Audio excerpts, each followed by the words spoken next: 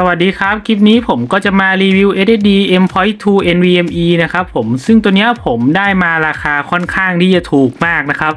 512กิกผมได้มาราคาแค่ประมาณสัก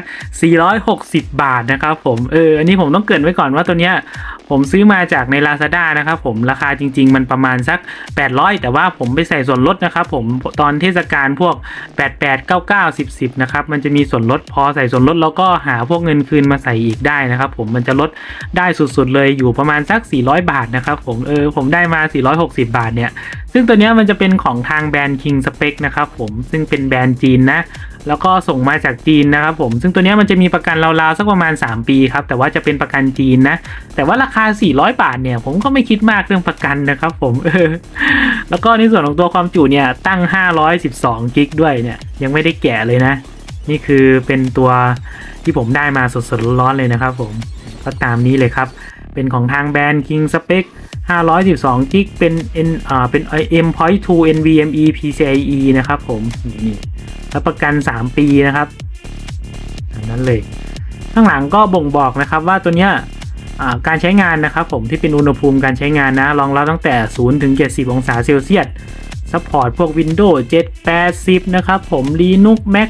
ประมาณนี้แหละ แล้วก็ในส่วนของตัวไฟเลี้ยงนะครับ ก็อยู่ที่ 3.3 โวลต์นี่ก็ไม่ได้บ่งบอกอะไรแล้วนะครับผมเป็นของทาง King Spec ครับ ก็เป็นของทางแบรนด์จีนนะครับผมซึ่งในตัว King Spec เขาก็ทำหลากหลายอย่างนะ น่าจะเห็นพวกแรมด้วยนะ ถ้าผมจะไม่ผิดเนี่ย Made in China 100%นะครับผมเดี๋ยวผมจะแกะให้ดูเลยนะเออยังไม่ได้แกะเลยนะครับเนี่ย เดี๋ยวผมหาของมาแกะก่อน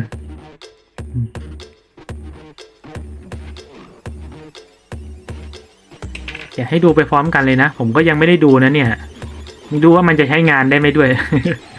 ซื้อมาแบบว่าเห็นแก่ของถูกนะครับ แต่จริงๆ ผมก็ใช้งานพวก SSD จีนอยู่หลายตัวนะ มันก็ยังไม่พังนะครับ ซึ่งเป็นแบรนด์ดังๆ เนี่ยมันพังไปก่อนตัวของจีนอีกแล้วนะ่ะ โอ้โห แกมาปุ๊บ ตัวกล่องสวยมากนะครับ ผมตัวกล่องเนี่ยเป็นลายอย่างนี้เลยนะ เฮ้ยสวยมากอะยอมรับเลยนะครับสวยสวยจริง ๆ ครับ เรามาดูในส่วนของตัวข้างในกันเลยนะครับผมโอ้วันนี้ก็แกะยากอีก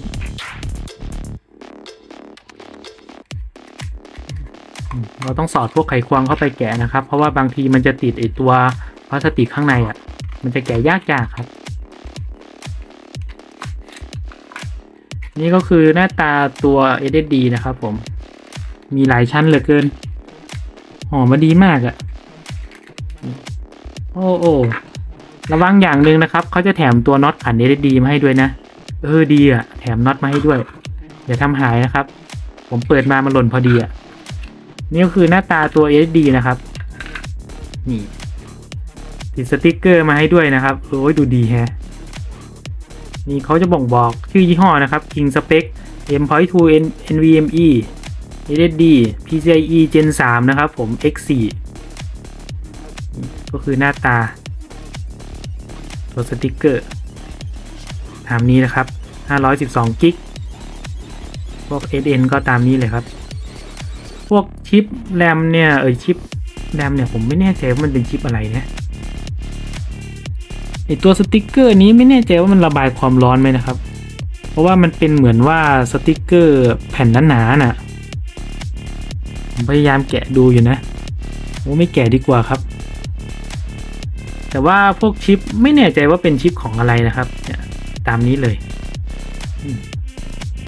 โอเค เราไม่ต้องไปแกะดูหรอก เดี๋ยวมันจะพังก่อนที่จะเทสนะครับ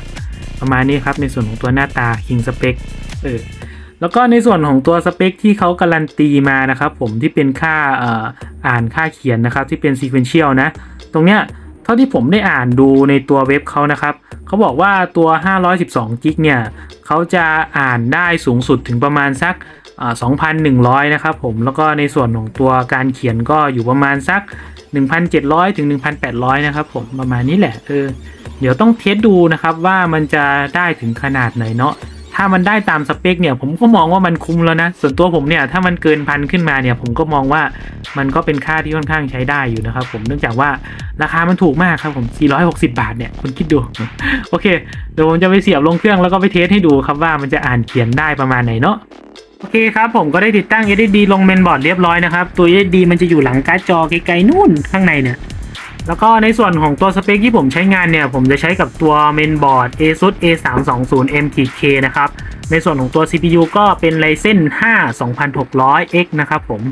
เดี๋ยวเรามาดูในส่วนของตัวคะแนนที่ผม test ไว้เลยนะครับ ผมจะใช้ตัวโปรแกรม A AS SSD Benchmark ในการเทสนะครับผม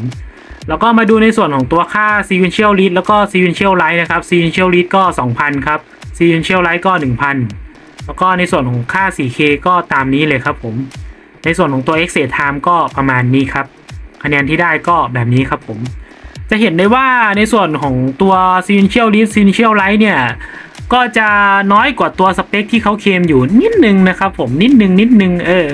แต่ก็ไม่ได้น้อยมากอะไรมากมายหรอกครับ มันก็ยังอยู่ในส่วนของตัวเกณฑ์ที่รับได้นะครับ ในส่วนของตัวประสิทธิภาพ SSD ตัวเนี้ยผมมองว่ามันพอๆกับตัว SSD อ่าตามท้องตลาดทั่วไปที่เป็นตัว PCIe Gen 3 นะครับผมเนี่ยบางตัวอ่า Gen 3บางตัวมันก็แรงกว่านี้นะ แต่ว่าราคามันก็แรงกว่านี้นะครับ ผมมองว่าได้พวกเอตัว ค่าอ่านเขียนเท่านี้ก็ถือว่าเร็วแล้วนะครับ ผมในส่วนของตัว 4K นี้ก็ไม่น่าเกลียดเลยนะครับ เพราะว่า